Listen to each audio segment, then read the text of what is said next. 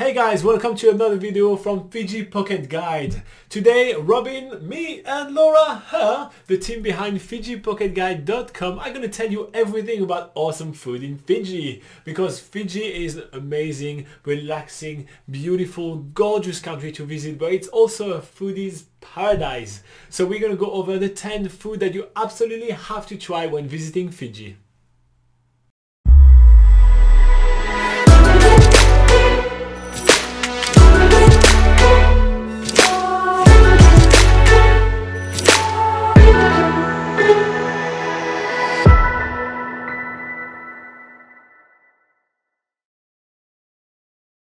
Alright guys, before we dive into this video, I'll just invite you guys to check out the very top link in the description below for our article on 10 unique foods in Fiji you have to try. It looks exactly like this and we're basically going to be going through this article and having more of a discussion about it through this video. So if you do want to open that up on a different window or on your phone just so you can follow along with us, why not? It might make it easier and you can also get some visuals to see what we're talking about as well. Also, you have the words for the pronunciation because Exactly. I am not guaranteeing any pronunciation in this video and I'm really sorry about that.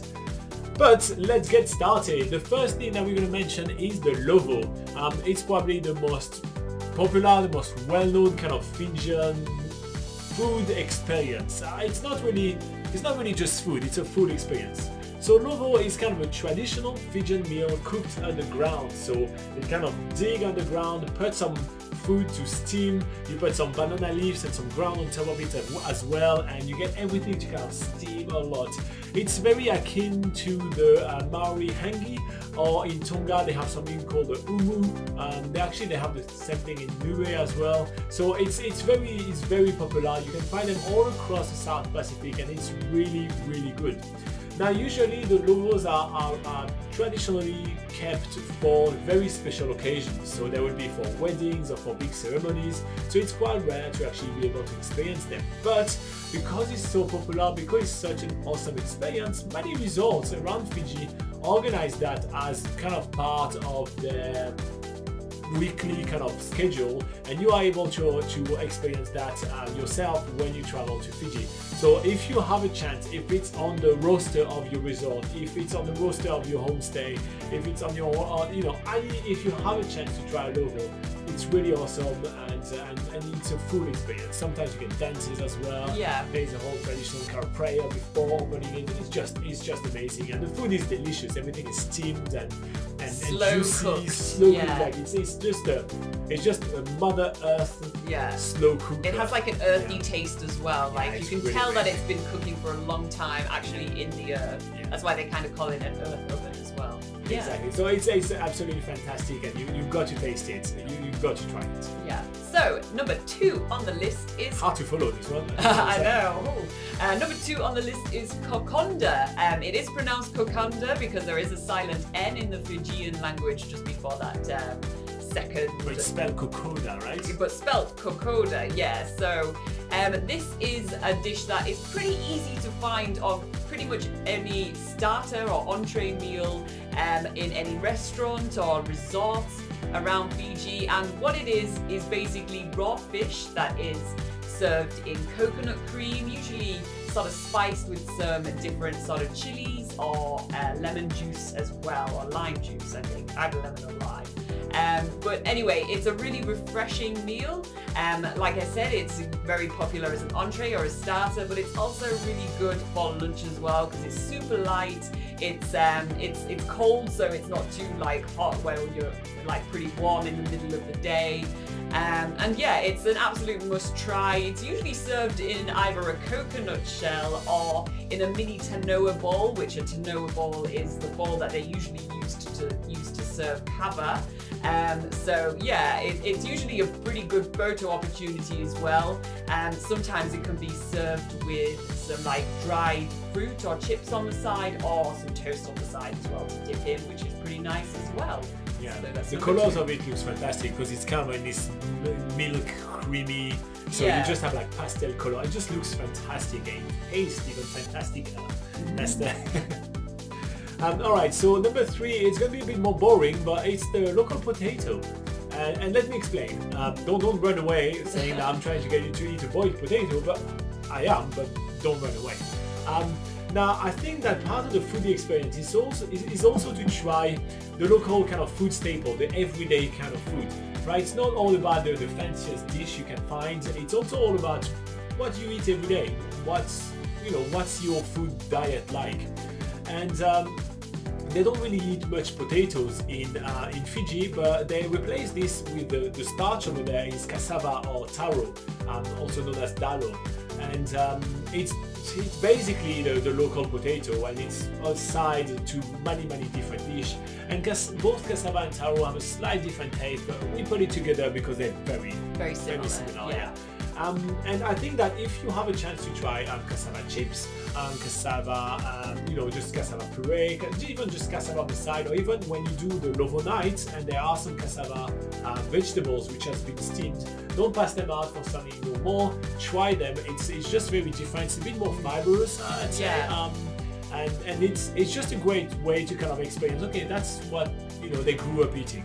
You know? Yeah. And it's kind of it's kind of cool. You know, you grew up eating you know mashed potatoes and this and that for Yeah. instance, and and they grew up eating um, cassava and taro, and, and I think it's yeah, it, it's it's more it feels more like a vegetable Yeah. than, than what potato feel like. Potato doesn't really feel like a vegetable in my opinion, but it's really delicious, so it's definitely worth trying. So that's cassava and taro at number three. Yeah, and another thing I'd just like to add for that is that don't underestimate how filling they are. Do not Yep. pile your plate full of them because they're even they're yeah they're more filling than a potato. So even a small bit of cassava or taro can yeah make you pretty much done for the whole night. So There's just bear story. that in mind. There's a story behind that. We were in, in, in the, you know, we were eating local food, and uh, Laura was like, "Oh, cool, that looks awesome," and she piled up a plate. and she doesn't throw food away. She doesn't leave food on the side. So before she went to try different meals, she wanted to finish her plate. She never ate anything else. Like Just a plate of cassava. to date, she still doesn't eat. Okay, number four on the list is Baigan Ballo. Now, this is our first fusion dish of the list because Fiji does have a pretty high population of Indo-Fijians and also Fijians, so they have brought this dish together, and it's it's a pretty awesome um, so awesome food.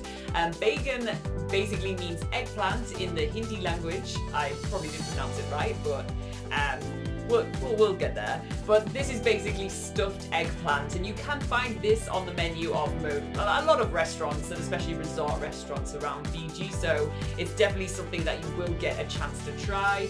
But yeah, the eggplant's usually stuffed with some nice curry and coconut cream as well, um, and usually fish and I think sometimes lamb as well in there.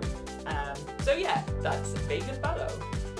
Um, I um, want to say that if you're following with us on the uh, on the article right here, we are on number five, and number five is the Fijian roti. So um, another fusion dish. Um, there is a big uh, Indian population in Fiji, and uh, the Indian food in Fiji is absolutely fantastic. Like whatever you pick on the menu is delicious uh, when it's kind of like Indian food. Honestly, Yeah. One time I just picked goat because I've never tried goat before, and Yeah. man, that was one of the best dish I've ever had. It was so tasty. Um, so the roti, it's uh, it's basically your Indian flatbread. Um, it's pretty popular, but pretty well known. And uh, yeah, so it's very often served uh, in uh, as a side dish to like curry. And if you go to like some of the cheapest kind of eateries, you can actually use that as a wrap, and you know it's the thing that you can take um, take to go. And that's usually some of the cheapest dish you can find in Fiji. So if you're a foodie but you're on a budget, that's usually the thing you can have like a nice roti, you know, with curry inside. You can have that like to go for like about between sometimes like down to seven Fijian dollars, which is really cheap. So yeah, Fijian roti was number five. Okay, number six is a real treat for breakfast, and this is babakau. Uh, probably again not pronouncing that right, but um, we've definitely had this when we've done our village stays, and uh, it's usually a common thing that you'll get if you do a homestay or you stay with a Fijian family. Um, they most likely will include uh, babakau in the breakfast, um, which is basically Fijian fried bread.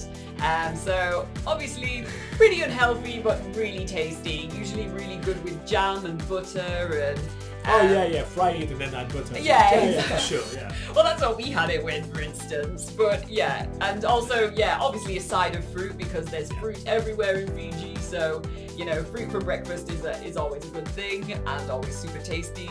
But yeah, babakau, definitely something you have to try if you get the opportunity. Yep. Number seven is cooked fish. I mean, obviously, you know, it's an island. I mean, you, knew fish was coming up on the list at some point, but yeah.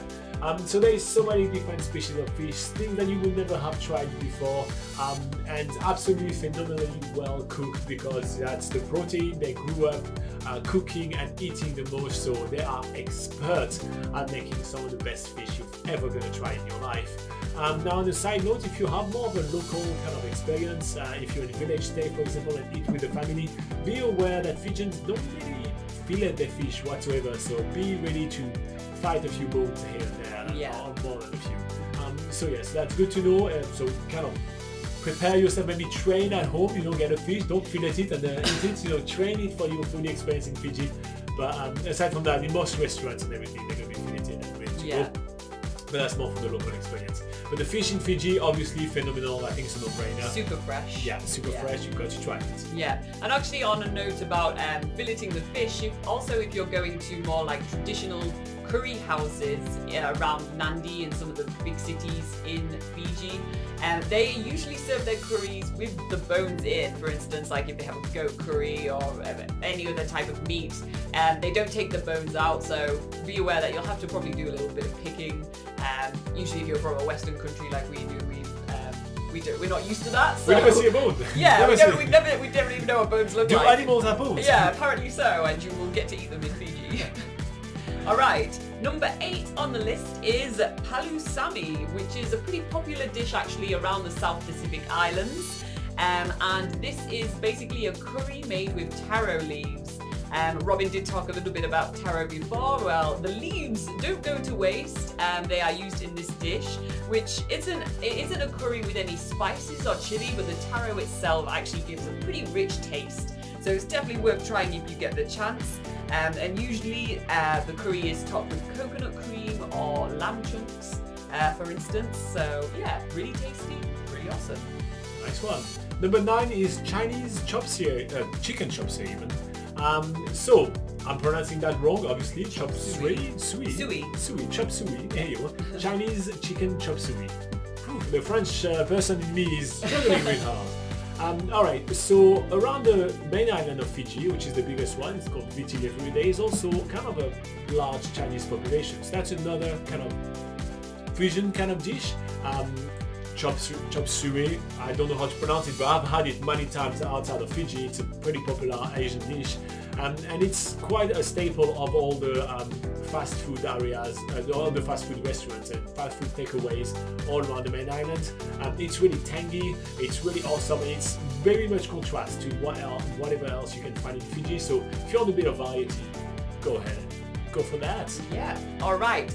The last one on our list, number ten, is tropical fruit. What? Just fruit? Just tropical fruit. Just fruit? What? Yeah, but but but hear me out. Okay, when you go to Fiji, one of the sort of top things you need to do is go check out the fresh produce markets. There's um, these produce markets in most of the main towns around Fiji, especially in Viti Levu, for instance. And just walking around these markets, you see a crazy array of fruit and vegetables that if you're from, you know, if you're not from the tropics, you will probably see a lot of stuff that you've never seen before. Um, and in Fiji in particular, what they have are some. Uh, there's a few ones worth mentioning. Mentioning there's an alien-looking sour sop, which is um, yeah, it's really bursting with flavour. There's a nice smooth pawpaw, otherwise known as papaya. Um, papayas in Fiji, I think. Yeah, they're so good. They're, if you've ever tried them, like you know, outside of a tropical country, they're usually not as good as when you have them Oh, they're so sweet and Yeah. juicy and just soft to the teeth, the tooth as well. Like, Yeah. like, they really just They just slither. Yeah, like, slither into your mouth. oh, and um, another another type of fruit is a longan, which is kind of like a jelly type fruit. Um, definitely worth looking out for as well. But even sort of your staple tropical fruit like bananas and pineapples, there's just like so many different varieties of bananas, and the pineapples are sweeter than anything. You, If you're not from a tropical co- Yeah. country, you never actually tasted what a pineapple or what banana really tastes like Yeah. when they just come down from the fruit from the tree. Um, different taste, absolutely completely different taste than any bananas you've had before. It's phenomenal. yeah. So, well, maybe one last thing to mention onto the uh, well, it's not technically not a fruit; it's a nut, but it's coconuts. Oh yeah, of course. because you're obviously in um, in a tropical country and it's always fun to try the coconuts there. Usually at resorts, there's coconut demonstrations where they show you all the many different uses for the coconuts. It's not just for eating, but you can craft loads of things out of coconut trees and the coconut husks and everything. So yeah, um, definitely worth learning about the coconut while you're in Fiji. Alright, so this wraps up 10 food that you absolutely have to try when you make your way to Fiji. Um, there are obviously much more foods than that, and uh, if you do want to learn more about food experiences in Fiji, head to FijiPocketGuide.com. This is the travel website that Laura and I are working on to help you plan your awesome trip to Fiji. It's all free, there is plenty of advice, so check it out. And thank you very much for watching the video. Make sure to like and subscribe for more coming up right there super soon. Bye bye. See you later.